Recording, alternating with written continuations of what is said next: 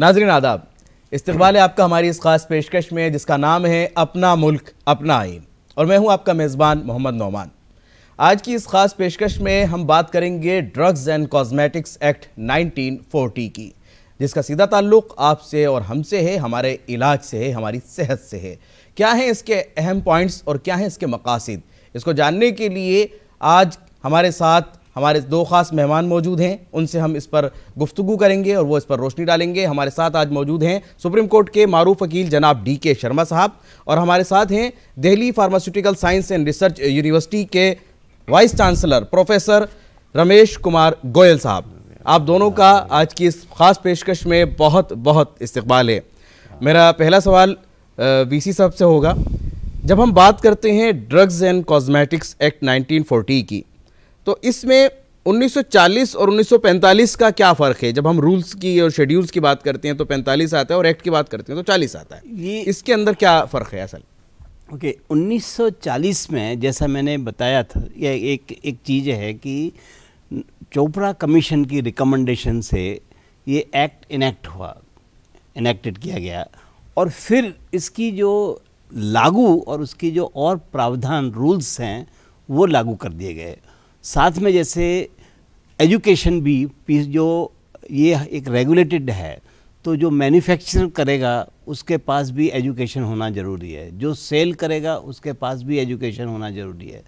इन सब का प्रावधान होते हुए ये 1945 ड्रग्स एंड कॉस्मेटिक्स एक्ट 1945 लागू हुआ है।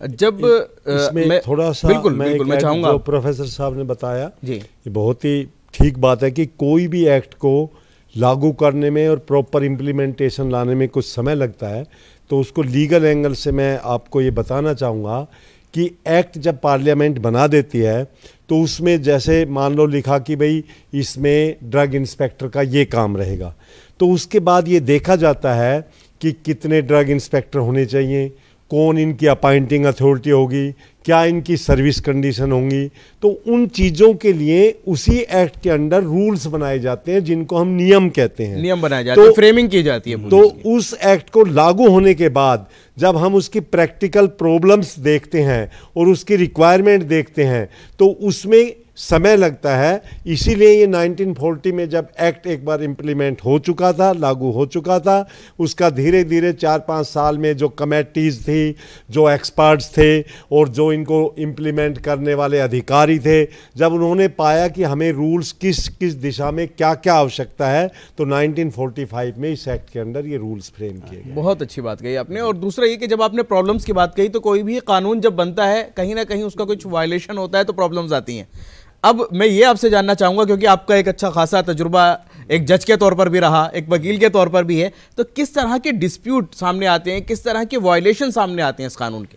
देखिए, जैसा भी आपने बताया कि एक्ट के बनने के बाद धीरे, अब ये 1940 से अब वी आर इन 2022 तो धीरे धीरे क्या देखा गया कि पहले हमारे यहाँ जो सिस्टम था, जैसे प्रोफेसर साहब ने बड़ा अच्छा बताया, आयुर्वेदिक, यूनानी सीधा स्टार्टिंग में 1940 में इन सिस्टम को एक्ट के अंदर इंक्लूड नहीं किया गया था। उसका एक कारण था कि जो एलोपैथिक दवाई होती है, जो मेडिसिन होती हैं, उसमें किस तरह की गड़बड़ी क्या हो सकती है? आयुर्वेदिक आप एक पेड़ पत्तों से बना के दवाइयाँ देते हैं तो उनका डेंजर इतना एक्सपेक्ट नहीं किया गया था कि इसमें इस तरह की मिलावटें होंगी। वो जड़ी बूटियों से जड़ी बूटियों से बनाया जाता था उससे के। लेकिन जब धीरे धीरे इसको देखा गया तो 1960 में ये रिक्वायरमेंट महसूस की गई कि बाय वे ऑफ़ अमेंडमेंट इनको भी इसमें इनको भी शामिल किया जाए। शामिल किया जाए। तो 1960 में आयुर्वेदिक वगैरह को इसमें इंक्लूड किया गया। अब जैसे आपने बड़ा अच्छा अहम तो क्या सर 60 में ही आयुर्वेद के साथ साथ होम्योपैथिक वगैरह सबको शामिल कर लिया गया सबको शामिल किया गया क्योंकि उन्होंने पाया कि लोगों का जो एक सिस्टम है दवाई लेने का वो ये है कि वो उन पे भी बहुत ज़्यादा बिलीव करते हैं और उसमें भी पहले आप देखते थे हमारे आज़ादी के समय उससे पहले कि हम अगर कहानियाँ किससे सुनते हैं तो दो तीन गाँवों में मिलके एक वैद होता था जिससे आप सवाई दवाइयाँ लेते थे। उसके बाद वो वैद्य की संख्या और जो एक आरएमपी और इस तरह के डॉक्टर्स की संख्या जो जड़ी बूटियों की दवाइयाँ ये देते थे वो बढ़ती चली बढ़ती गई चली गई। तो पार्लियामेंट ने फील किया कि अब इनको भी रेगुलेट करना अति आवश्यक है ताकि लोगों की सेहत उनकी बीमारी के साथ किसी प्रकार का कोई समझौता ना किया जाए या कोई गलत काम ना हो। इसलिए अमेंडमेंट करके उनको भी इंक्लूड किया गया। फिर जैसा आपने मुद्दा उठाया कि किस तरह के डिस्प्यूट इसमें आते हैं, देखिए, अब तक इतना लंबा समय इस एक्ट ने पास किया है और उसमें मैं कहूँगा कि जैसे एज ए जज एज ए एडवोकेट हम देखते हैं कि मैट्रिमोनियल केसेस से कोर्ट भरा हुआ है 138 से भरा हुआ है। इस तरह के मुद्दे इस एक्ट के अंदर बहुत कम हैं। केसेस की अगर हम एक केसेस का डाटा देखें तो कंपैरेटिवली देन अदर केसेस दूसरी किस्म के केसों की अपेक्षा इसके बहुत कम है। उसका एक बहुत महत्वपूर्ण कारण है कि इस एक्ट के अंदर जो सेंट्रल गवर्नमेंट और जो स्टेट गवर्नमेंट्स की जो अथॉरिटीज हैं जैसा कि अभी प्रोफेसर साहब ने अथॉरिटीज के नाम और सब आपको बताया वो अथॉरिटी पूरा कंट्रोल करती हैं पब्लिक की ग्रीवेंसीज को देखती हैं और ऐसा मौका बहुत कम मिलता है कि उनको अल्टीमेटली कोर्ट या पुलिस के दरवाजे को खटखटाना पड़े। तो इसमें पूरा मैकेनिज्म एक्ट में ही दिया गया है ताकि लोगों की ग्रीवेंसीज को ये एक अहम मुद्दा है अहम लाइफ का आस्पेक्ट है तो उसको अथॉरिटीज प्रॉपरली उसको देखती हैं। अथॉरिटीज पूरी तरीके से देखती हैं। मैं एक बार वीसी सर से जानना चाहूँगा क्या सर पूरी तरह से इसी बात पर सहमत हैं आप कि अथॉरिटीज जो हैं पूरी तरीके से देख रही हैं इसी वजह से केसेस नहीं है या केसेस पूरी तरीके से आ नहीं पाते? क्योंकि अडल्ट्रेशन अब भी कुछ जगहों पर सामने आती है दवाइयों के साथ।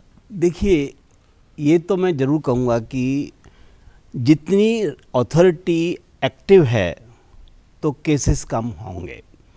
तो एक तरफ़ तो मैं यही कहूँगा कि नहीं ओ या पहले डी सी जी आई जो थी या food and drug control administration था ये सक्रिय रहे हैं भारत में पहली बात तो। दूसरी बात मैं एक थोड़ा सा एक और एक आ, रोशनी डालना चाहूँगा कि शर्मा जी ने जो बात बताई है कि आयुर्वेद इसका सी उसकी परमिशन जैसे इन्होंने बताया कि चार दायरे हैं मैन्युफैक्चरिंग तो लाइसेंसिंग एक बहुत बड़ा दायरा है ड्रग कंट्रोल एडमिनिस्ट्रेशन का चाहे वो स्टेट का हो या सेंट्रल ड्रग कंट्रोल एडमिनिस्ट्रेशन हो। अब क्या होता है कि ये जो आयुष ड्रग्स हैं आयुर्वेद सिद्धा होम्योपैथी यूनानी इनकी इनकी लाइसेंसिंग के लिए लिटरेचर देखा जाता है। लिटरेचर में मैंशनड है तो स्टेट लाइसेंस स्टेट में जो अथॉरिटीज हैं वो लाइसेंस दे सकती हैं नंबर। और दवाइयाँ बिक सकती हैं। लिटरेचर सर किस तरह का? लिटरेचर यानी एंशियंट लिटरेचर आयुर्वेद है तो आयुर्वेद के लिटरेचर में बताना होगा कि ये लिखा हुआ है इसलिए हम दे सकते हैं। अलग से परीक्षण और ये कराने की ज़रूरत नहीं होती सर ये कौन बताएगा? क्या वो आयुर्वेद से जो जुड़े हुए वो लोग या हमारी जो गवर्निंग बॉडी है उसमें से कुछ लोगों को इस तरह से नियुक्त किया गया जो कंपनी ले रही है तो पहली बात तो उसको आयुर्वेद डॉक्टर का होना ज़रूरी है। अगर आयुर्वेद का है या सिद्धा का उसको बाकायदा प्रूफ भी देने होंगे। फिर जो अथॉरिटी के पास जाएगा तो वो क्रॉस चेक करेगा कि ये बात सही है या बनावटी है। वो सब एग्जामिन करने के बाद में ही लाइसेंस और फिर जैसे कि मैंने बताया, एक schedule T good manufacturing practices का मतलब कि वो एरिया जहाँ पे बनाएगा, वो ऐसा नहीं कि कोई घर में बना के भी लाइसेंस ले ले, नहीं। बाकायदा उसको मापदंड वो भी फॉलो करने पड़ेंगे। तो ये प्रावधान आ चुके हैं। अब और बढ़ावा देने के लिए अभी 2014 में शुरुआत हुई थी और 17 में लागू हो गया फाइटो फार्मास्यूटिकल रेगुलेशन और भी बढ़ावा देने के लिए। इसमें क्या कुछ है? इस फाइटो फार्मास्यूटिकल रेगुलेशन में ऐसा है कि सिंगल कंपोनेंट और उसमें चार एक्टिव यानी मॉडर्न वे में आपको बताना पड़ेगा कि ये चार इसमें इसके मार्कर हैं जिससे इसकी ऑथेंटिसिटी की जा सकती है। इसका मतलब ये नहीं कि केमिकल डालना है या कुछ है। उसके अंदर की हाँ इससे आप गुण पैदा कर सकते हो कि हाँ ये जो जड़ी बूटी ली गई है वो सही है उसके अंदर ये गुण होंगे उसके केमिकल के और इस मात्रा में वो रेंज हो सकती है वो होगी और ये बाकायदा इफ़ेक्टिव है। ये नहीं कि खाली हमने लिटरेचर का है तो हमने मान लिया ये बताया भी गया है और limited safety study clinical study भी होना ज़रूरी है। बहुत तो अच्छी वो एक नई और- चीज़ जो आई है जो पूरी दुनिया में अभी नहीं है कई जगह एडॉन बायोलॉजिकल्स बोल दिया गया है। कोई में बोटानिकल्स नाम दे दिया गए हैं। यानी जैसे यूएस में है या कई लेकिन वो कुछ भी कहा जाए लेकिन हर तरीके से उसको कंट्रोल करने की पूरी कोशिश की गई है। हाँ। आपने बड़ी अच्छी बात कही कि इसमें लाइसेंसिंग जो है एक बहुत अहम चीज़ है। डी के सर मैं इसमें ये जानना चाहूँगा ये लाइसेंसिंग कितने दर्जे में है? क्या हम उसको सेलर से लेकर के मैन्युफैक्चरर से लेकर के और इंपोर्ट करने से लेकर ये लाइसेंस के कितने दर्जे तक लाइसेंसिंग है? देखिए लाइसेंसिंग जब कभी भी लाइफ में कोई भी वस्तु या ऐसी चीज़ होती है जिसका व्यक्ति के जीवन से डायरेक्ट कनेक्शन होता है। जैसे हम बात कर ले, मान लो आप एक रिवाल्वर का लाइसेंस लेते हैं तो गवर्नमेंट आप रिवाल्वर नहीं ले सकते विदाउट लाइसेंस के लिए। इसी तरह ड्रग एक इतनी महत्वपूर्ण चीज़ है लाइफ के लिए तो उसके इन्होंने स्टेजेस बनाए हैं। कि सेंट्रल गवर्नमेंट आपको लाइसेंस दे सकती है, स्टेट गवर्नमेंट दे सकती है, फिर स्टेट गवर्नमेंट का हर डिस्ट्रिक्ट में लाइसेंसिंग अथॉरिटी है। अब लाइसेंसिंग अथॉरिटीज़ ने रूल्स के अंडर अपने प्रेस्क्राइब मापदंड किए हुए हैं कि लाइसेंस आपको अगर सेल के लिए चाहिए तो आपकी ये रिक्वायरमेंट फुलफिल होंगी, तभी आपको दिया जाएगा। मैन्युफैक्चर के लिए चाहिए तो जैसा प्रोफेसर साहब ने बताया, कहाँ आप बनाएँगे, क्या आपके पास इक्विपमेंट है, क्या आपके पास क्रिटेरिया है, कौन बनाने वाले हैं, ये सभी चीज़ें इस एक्ट के अंदर जो रूल्स फ्रेम किए गए हैं उन रूल्स में ये सभी विस्तार से बताई गई हैं और जो व्यक्ति जो कंपनी जो इंडिविजुअल इन चीज़ों को फुलफिल करके अप्लाई करता है तो लाइसेंसिंग अथॉरिटीज़ में जो एक्सपर्ट हैं वो एग्जामिन करके अगर उनको उचित पाते हैं तो वो लाइसेंस ग्रांट करते हैं।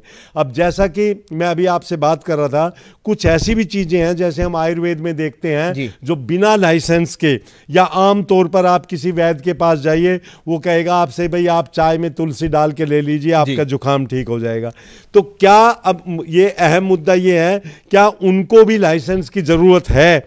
या वो चीज़ें अभी भी हम आज़ादी के इतने समय बाद जहाँ पे एक वर्चुअल ज़माना टेक्नोलॉजी और सब कुछ आ चुका है तो क्या अभी उन दवाइयों को एक कानून ये अधिकार देता है कि हम वो ले सकते हैं या उन दवाइयों के लिए भी लाइसेंस के बगैर आप कंज्यूम नहीं कर सकते? ये एक बड़ा एक बड़ा सवाल आपने उठाया है ये- इस वक्त। ये- और ये देसी तरीका इलाज कहा, कहा जाता है कि ये देसी तरीके हैं। दे- तो इसको भी क्या वीसी सर क्या इसको भी कंट्रोल करना ज़रूरी है आज के दौर में? इसका देखिए कंट्रोल तो शुरू हो चुका है। आज ये जो जैसे इम्यूनो बूस्टर्स थे, एक रेगुलेशन तो था कि उसमें बताया गया था कि इसके अंदर कितने हैं। तो वाकायदा कोई भी बना के नहीं बेच सकता था।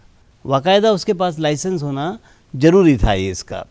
तो आयुर्वेद का और ये जो उसकी जो बढ़ावा है फाइटो फार्मास्यूटिकल तो एक रेगुलेशन की एक मैं बात बता रहा हूँ। पर एक गुणवत्ता जो आई शेड्यूल टी डाल के उसमें कि आयुर्वेद लाइसेंसिंग भी ज़रूरी है। हम रिसर्च में भी किसी से पीछे नहीं हम्म। है बहुत सारी रिसर्चेज हमारे यहाँ हो रही हैं नई नई मेडिसिन आ रही हैं। उस नई मेडिसिन को नए रिसर्चेस को देखते हुए क्या कुछ नई तब्दीलियाँ इस कानून में आई हैं? तब्दीलियाँ तो जैसा मैंने बताया ना कि एक अब आयुष की दवाओं पर भी कैसे कंट्रोल किया जाए जिससे कोई उसकी विश्वसनीयता पूरे पूरे अंतर्राष्ट्रीय बाजारों में भी हो। इसके ऊपर विचार अभी भी चल रहे हैं। टाइम टू टाइम इसके लिए विचार हो रहे हैं कि क्या अलग से कानून बनाया जाए इसका आयुष का? और अगर कोई रिसर्च कर रहा है तो? अगर रिसर्च कर रहा है तो रिसर्च में जो इसका मतलब ये नहीं है कि नई कोई ट्रेडिशनल मेडिसिन देख रहा है। उस आयुष की दवा है फॉर एग्जांपल तो विश्वसनीयता पैदा करने के लिए जो हम जैसे मैंने बताया ना कि जो फाइटो फार्मास्यूटिकल में चार केमिकल इसका मतलब ये नहीं है कि हमको केमिकल्स में इंटरेस्ट है। वो एक स्टैंडर्डाइजेशन इसका मतलब कि हम कॉन्फिडेंस के साथ बोल सकते हैं कि ये दवा ये पत्ती है अब पत्ती ये गाजर एक जगह से लीजिए और आप नॉर्थ की लीजिए और साउथ की लीजिए आपको कलर ही अलग होगा। अब कौन सी ज़्यादा अच्छी है ये कैसे कब पता पड़ेगा आपको? तो इस तरह से ये चीज़ें तुलसी है तो आप तुलसी के पत्ते बड़े भी होते हैं छोटे भी होते हैं काले भी होते हैं जी राम तुलसी भी होती है और श्याम तुलसी भी होती है। यही मैं बताना चाह रहा हूँ कि ऐसे में तो दूसरा तो कंफ्यूज हो जाएगा। तो उनका एक ही इलाज है कि उसको बाकायदा टेस्टिंग की जाए। तो टेस्टिंग के पैरामीटर्स कितने बनाए जाएँ ऐसे बना बनाए हो जाएँ कि फिर वो आयुर्वेद इंडस्ट्री ही बैठ जाए। ऐसा भी नहीं करना है। ऐसे पैमाने बनाए जाएँ कि सर इंडस्ट्री बहुत बड़ी हो गई है अब हमारी हाँ। फार्मास्यूटिकल इंडस्ट्री इस कानून के बावजूद अभी भी आपको क्या हर्डल्स नज़र आती हैं? क्या कुछ दिक्कतें नज़र आती हैं अभी भी? ये एक बहुत रोचक बात आपको आप शायद मानोगे नहीं। ये कानून जितने ज़्यादा होंगे उतनी ही ज़्यादा इसकी वैल्यू होती है। मैंने जब मैं प्रोफेसर हुआ जब नब्बे की बातें हैं और ये उसमें उस टाइम पे क्लिनिकल ट्रायल इतने नहीं आए थे तो मैंने एक ऐसे ही डिस्कशन में पूछा था कि क्यों है ऐसा? बोला कि इसलिए नहीं है कि यहाँ के कानून ही लूज हैं। जब कानून ढंग से बने तो हमारे यहाँ विश्वास दिखाने लगे और परदेसी, विदेशी कंपनियाँ यहाँ पर क्लिनिकल ट्रायल करने लगीं। और एक टाइम ऐसा था कि मैकेजी ने कहा कि भारत टॉप पे होगा इन क्लिनिकल ट्रायल और वही होने जा रहा था, पर कुछ कमियाँ आई, कुछ एक्ट कुछ ऐसी ह्यूमन राइट्स वायोलेशन जैसे नज़र आने लगे या कुछ था इसलिए वो थोड़ा स्लो पेस हुआ और कुछ और कारण भी थे जो उसका पूरा चर्चा अलग से हो सकती है। तो क्लिनिकल ट्रायल जब के रूल जैसे जैसे बने उल्टी ज़्यादा विश्वसनीयता आती गई। तो कानून तो अच्छे के लिए होगा इंडस्ट्री भी खुश है अगर कानून ढंग से हो हाँ इतना ना हो कि उनको परेशानी आए। परेशानी आए और परेशानी ना आए और कानून भी अपना काम करता रहे इसलिए मैं एक सवाल ये भी जानना चाहूँगा डी के सर से कि सर, अब आज के ज़माने की अगर हम बात करते हैं 2022 की, जैसे आपने कहा कि एक इंसान अपने हिसाब से वो मेडिसिन बनाता है और ले लेता है, क्या कुछ आपको और ज़रूरत नज़र आती है इस कानून के तहत कि अब ये तमाम चीज़ें भी इस कानून में शामिल होनी चाहिए और लोगों के लिए अवेयरनेस जो है और ज़्यादा बढ़ाई जाए? देखिए, ये अगर आप इसको एग्जामिन करें, कानून की दृष्टि से ना देख के जनरल दृष्टि से भी तो इसमें एक बड़ा वो है, अगर मान लो अब आप एक अनार का आपने बताया कि आप अनार का सेवन करिए, पेट दर्द ठीक हो जाएगा। अब अनार एक फ्रूट है। आप कहें कि जब तक इसका आपके पास लाइसेंस ना हो इस चीज़ के लिए तो आप नहीं खा सकते, नहीं तो वो आपके एक फंडामेंटल राइट का वायलेशन है। You want to eat the fruit और वो उस पर लाइसेंस चाहिए। तो इसलिए मैं ये कहूँगा, जो मैं जितना समझता हूँ कि दो चीज़ों का मुख्य ध्यान रखना चाहिए कि जब हम आयुर्वेदिक दवाइयों की बात करते हैं फ्रूट से जो बनती हैं, पेड़ पत्तों से बनती हैं, जड़ी बूटियों से बनती हैं तो दो चीज़ों का मुख्य ध्यान रखें। एक तो वो अगर लाइफ के लिए डेंजरस भी हो सकती है। तो उसका लाइसेंस लेना ज़रूरी है क्योंकि कोई इसको खा के किसी के शरीर का नुकसान ना हो। दूसरा अगर वो मिसलीडिंग हो जैसे कि मैं साइट करना चाहूँगा रिसेंट कोरोना काल में आया कि भाई ये पर्टिकुलर दवाई कोरोना को ठीक कर देगी। बाद में पता लगा भाई इस चीज़ का लाइसेंस नहीं मिल सकता पर इम्यूनिटी के लिए ये ठीक है, है। तो मिसलीडिंग नहीं होना चाहिए क्या इसका पर्पज़ है किस लिए ये लिया जाए और डेंजरस नहीं होना चाहिए। तो वो चीज़ें जो हमारे आम वैद हैं चाहे यूनानी हैं चाहे आयुर्वेदिक हैं वो बिना लाइसेंस के उनको इजाज़त होनी चाहिए जो मैं सोचता हूँ। लेकिन अगर वो मिसलीडिंग हो अगर वो डेंजरस हो तो उसका कंपिटेंट अथॉरिटी से लाइसेंस होना बड़ा ज़रूरी इसी सवाल पर मैं सरकारी रिमार्क लेना चाहूँगा। सर आप क्या कहते हैं? इसमें देखिए ये जो बताया है कि मिसलीडिंग तो नहीं होनी चाहिए और जो सारे कानून हैं इसी के लिए हैं। आपको ये बड़ी रोचक बात है कि आपने हर दवा की दुकान पर लिखा होगा केमिस्ट एंड ड्रगिस्ट लिखा है। जी। देखा होगा। वो नियम के तहत लिखना है। अगर उस पर नहीं लिखा होगा और आप बेच रहे हो तो वो भी गलत है। वो भी कानून का उल्लंघन है। हालाँकि अब उसका प्रपोजल ये है कि उसको फार्मेसिस्ट कहा जाए अब। अच्छा। नॉट कि ड्रगिस्ट एंड केमिस्ट क्योंकि वो मिसलीडिंग हो जाता है। तो इसका कानून गेजेटेड भी हो चुका है। इम्प्लीमेंटेशन अभी 2021 में अभी अभी इसका फिर भी बाकी है अभी कुछ अब पेंडिंग है थोड़ा। इवन जो एक एक जो ड्रग लेबल होते हैं उसके अंदर क्या लिखना है? अगर कोई लिख दे कि ये इसके लिए है जी। और अगर ड्रग इंस्पेक्टर बताता है कि ये गलत लिखा हुआ है उसके ऊपर भी केस हो सकता है। वो केस करेगा कौन? केस या तो अगर ड्रग इंस्पेक्टर के डायरेक्ट नज़र में आया वही डायरेक्ट ले सकता है उसको। या कोई कंप्लेन करे कंज्यूमर में जाके या किसी और के तो भी आ सकता है।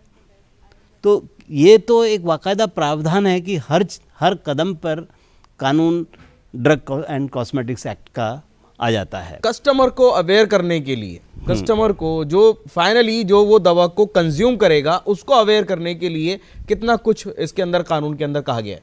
बहुत कुछ है। कब अगर इसको ड्रग अवेयरनेस जैसे हम बोलते हैं शेड्यूल एच यानी बिना प्रिस्क्रिप्शन के दवा ना ली जाए। अब शेड्यूल एच का एक एच वन भी दिया गया है कि कुछ ऐसा परेशानियाँ लगने लगी कि ये दवाएँ तो भाई इसको रेगुलेट नहीं करना चाहिए ये ले ली जा सकती हैं। फार्मेसिस्ट भी अपना जजमेंट दे सकता है क्योंकि वो क्वालिफाइड है। तो एच वन का भी आया है प्रावधान। तो इस तरह के प्राविधान तो सब कंज्यूमर को प्रोटेक्ट करने के लिए ही हैं सारे सारे अब ये है कि कोई बोले, अरे, ये तो सब में लिखा होता है, इससे कोई फ़र्क नहीं पड़ता। तो ये बात नहीं है। जैसे कोरोना में अरे भाई मास्क लगाओ ना लगाओ क्या? ये ऐसा नहीं होता है। सर मास्क के ताल्लुक से ये जिस तरीके से मार्केट में धड़ाधड़ मास्क आए धड़ाधड़ सैनिटाइजर आए उसको कंट्रोल किस तरह से किया जाएगा इस कानून में? इनमें देखो कानून तो ऑलरेडी थे।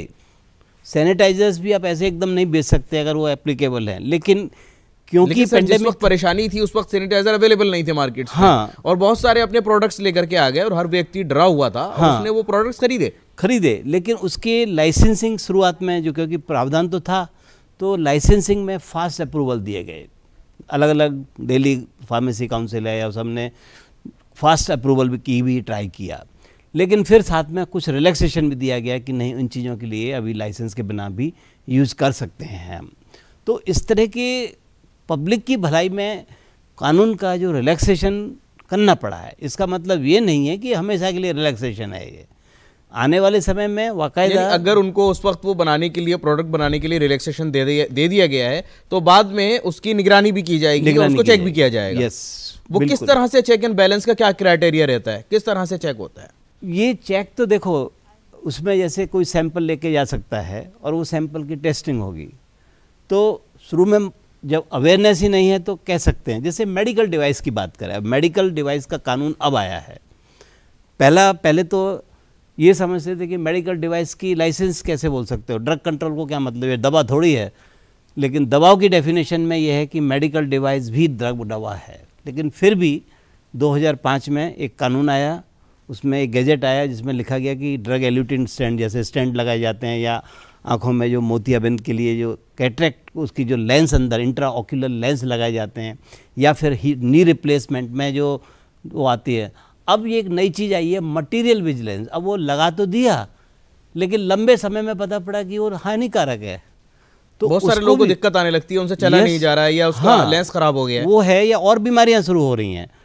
उसकी भी विजिलेंस शुरू हो गई है और उसका बाकायदा कानून आ चुका है मेडिकल डिवाइसेस का कि जो मटेरियल यूज़ हो रहा है वो भी एग्जामिन होगा। तो इस तरह का कानून पास यानी जो इलाज करवा रहा है उसको आगे yes, तक सिक्योर yes, करने की कोशिश की जा रही, जा रही है, कि अगर कोई आँख में अपने लेंस लगवा रहा है या अपना yes. घुटना जो है वो बदलवा रहा है तो आगे चलकर भी उसको कोई दिक्कत ना आए उसके साथ धोखा ना हो सके। अब डी के शर्मा जी हमारे साथ हैं और काफ़ी देर से मैं उनसे सवाल भी नहीं पूछ सका हूँ तो मैं पूछना चाहूँगा सर से कि अगर हम इस कानून की बात करते हैं तो इसमें सजा का क्या प्रावधान है? हर कानून के साथ ये अहम चीज़ होती है कि अगर कोई वायलेशन करता है तो उसकी ये सजा है। इसमें क्या कुछ सजा का प्रावधान है? देखिए पहले तो मैं ये बताना चाहूँगा कि ड्रग्स हमारे कानून में मुख्य रूप से दो कानून में यूज़ किया गया है। एक में पॉजिटिव सेंस में एक में नेगेटिव सेंस में। एक एनडीपीएस एक्ट जो होता है आमतौर पर जो ड्रग्स का हम कहते हैं नार्कोटिक नार्कोटिक ड्रग्स वहाँ पे इसको पूर्ण रूप से नेगेटिव सेंस में यूज़ किया गया है। ड्रग्स एंड कॉस्मेटिक एक्ट में इसको मेडिसिन के रूप में यूज़ किया गया है। लेकिन अगर वही मेडिसिन इतनी डेंजरस हो जाती है तो पार्लियामेंट ने इसका पूरा ध्यान रखा है और इसमें लाइफ इम्प्रीजनमेंट तक का प्रोविज़न रखा गया है। दस लाख रुपए तक के जुर्माने का प्रोविज़न रखा गया है। तो इससे उनको मैन्युफैक्चरर, इम्पोर्टर को ये सचेत किया गया है कि अगर इस ड्रग्स को आप लोगों के बेनिफिट के लिए एज ए मेडिसन यूज़ ना करके इसको किसी तरह का कमाई का धंधा या उनकी लाइफ से खेलने का आप बनाएँगे तो इसमें लाइफ इम्प्रिजनमेंट तक की सज़ा का प्रावधान दिया गया है। बहुत बढ़िया। यानी कि जहाँ तक भी कोशिश की गई है आपको आपकी सेहत का ख्याल रखते हुए आपको सेव करने की कोशिश की गई है। कहीं भी किसी का कुछ नुकसान ना हो। मैं एक लास्ट रिमार्क्स वीसी सर से चाहूँगा कि इस कानून के ताल्लुक से कुछ अहम बात कुछ अहम पॉइंट्स जो आप कहना चाहें वो ज़रूर कहें। ये है कि इस कानून का सम्मान करना होगा। जैसे अगर कोई प्रावधान है किसी को सपोज़ कुछ हो गया कोई दवा लेने से इसका मतलब ये दवा से ही हुआ है हो सकता है दवा से भी हुआ हो पर कई बार एक चांस की बात भी होती है आपकी बॉडी का जिनोम ऐसा हो कि उसकी वजह से हुई हो सकता है। जी। तो अभी जो कानून है फार्मेको विजिलेंस जो मैं कहना चाह रहा हूँ एडवर्स ड्रग रिएक्शन मॉनिटरिंग ये भी एक अहम हिस्सा होता जा रहा है और ये इसी के अंडर में आता है सी डी एस सी ओ की इंडियन फार्माकोपियल कमीशन है फरीदाबाद में। उसकी एक अंग है। तो वहाँ रिपोर्टिंग होती है और बाकायदा जब वर्ल्ड वाइड ये रिपोर्ट आती हैं कि नहीं, ये चीज़ तो हमने भी देखी है तो बाकायदा उसमें फिर सजा नहीं होती है कंपनी को कि भाई आपने कैसे ऐसे हो गया। अरे भाई, ये हो गया। ये रिपोर्ट अब आने लगी हैं। तो उस दवा को उसको रिकॉल कर बोलते हैं उसको वापस ले लिया जाता वापस है। ले लिया जाता है। और वो प्रावधान भी इसमें दिया गया है ड्रग रिकॉल्स वापस ले लिया जाए। कोई बैच में पर्टिकुलरली लगा कि इस बैच में गलती हो गई है उस बैच को पूरे इंडिया में या पूरे वर्ल्ड में अगर डिस्ट्रीब्यूट हो गई है तो इमीडिएटली चारों तरफ़ मैसेज चले जाते हैं कि इसको वापस ले लिया जाए इस बैच नंबर को। इसीलिए बैच नंबर लिखना भी ज़रूरी है। तो मैं तो कहूँगा कि ड्रग एंड कॉस्मेटिक्स एक्ट के जो भी कानून हैं उसका सम्मान करें और उनको समझें। और आप ये चाहते हैं कि विजिलेंस को ज़्यादा से ज़्यादा बढ़ावा मिले। विजिलेंस को तो बढ़ावा देना ही होगा क्योंकि अगर लंबे समय में अगर असर देखने हैं इसका इफेक्टिवनेस देखनी है तो है तो दवा तो दवा ही है किसी को कुछ भी कर सकती है। बिल्कुल लेकिन उसका जो है खास ख्याल रखा जाए कानून का ना सिर्फ़ ये कि पालन किया जाए हम सबको जागरूक होना हम सबको बेदार होना बहुत ज़रूरी है। यही मकसद था आज की इस खास पेशकश का कि इस कानून से मुतालिक आप जान सकें इसकी अहम बारीक बातों को इसके जो मकासद हैं उनको समझ सकें। उम्मीद है कि आज की इस खास पेशकश में आपने ज़रूर इस कानून को समझा होगा इसकी बारीकियों को जाना होगा। मैं बहुत शुक्रगुजार हूँ अपने दोनों खास मेहमानों का कि आपने आज की इस पेशकश में इस अहम मौजू के ऊपर रोशनी डाली। मैं आपका बहुत बहुत बहुत शुक्रिया अदा करता हूँ। और आप भी अपने राय और मशवरे इस प्रोग्राम के ताल्लुक से हमें ईमेल कर सकते हैं। हमारा ईमेल आईडी है अपना मुल्क, अपना आइन at the rate gmail dot com आप सोशल मीडिया पर भी हमसे जुड़ सकते हैं। आज की इस खास पेशकश में फ़िलहाल इतना ही। हम फिर हाजिर होंगे किसी नए और ख़ास मौजू के साथ। तब तक के लिए इजाज़त दीजिए। खुदा हाफिज़।